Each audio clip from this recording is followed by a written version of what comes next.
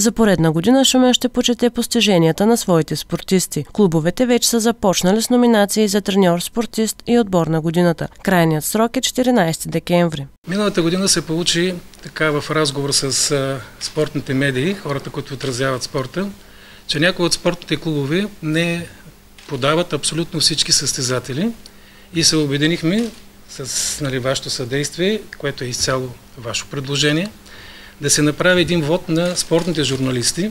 Журналистите ще имат възможност да проверяват дали клубовете са предложили всички състезатели. Репортерите ще имат право да номинират пропуснатите спортисти, както и да дадат своя вод за избран от тях състезател. Ще бъде назначена комисия, която ще обобщи резултатите от номинациите. Победителите ще бъдат наградени на официална церемония.